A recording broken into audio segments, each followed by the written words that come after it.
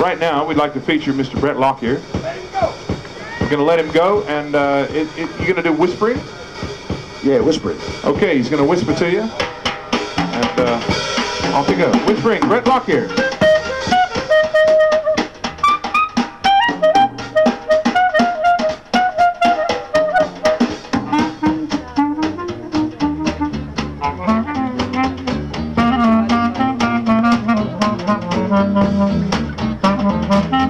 Mm-hmm.